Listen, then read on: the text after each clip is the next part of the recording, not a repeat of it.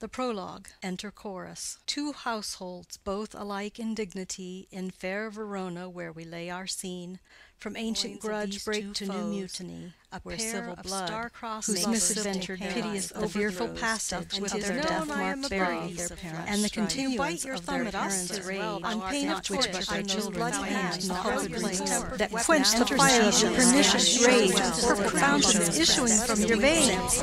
I'll be on oh, my word, the lawyer's hearing. The game was theirs, I fear thee, no, and I then